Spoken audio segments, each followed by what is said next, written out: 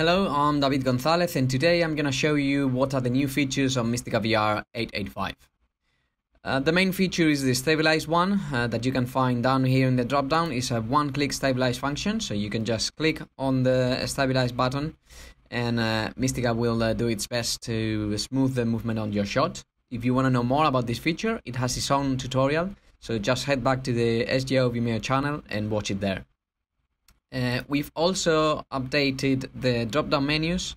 Uh, we separated the positions and the edge points drop-down menus to make it a bit more clear. Um, some new functions have also been added to the storyboard, so now you can uh, right-click on every any shot and clone or delete it. Uh, the cloned shot will appear just right to the original shot, and as soon as you navigate into it, it will have exactly the same uh, settings so that you can modify them and create a new version of the shot. As easily as that, you can just right click and delete that shot if you don't need it anymore. We've also added support for VR 180 and you can find that in the visualization menu. Uh, just select side by side VR 180 and you can uh, check how your shot is going to look in VR 180. If you need to reorientate it, you can do it with the yaw. It will always crop the central part of your shot.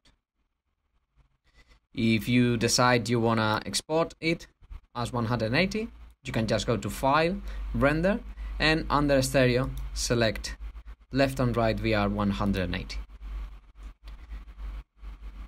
As we always do with Mistika VR, we keep updating our preset list, in this case with two new presets, uh, one for the D2 Plus camera, and another one for a pair of Panasonic GH5 uh, mounting Entaniya to 50 degrees lenses.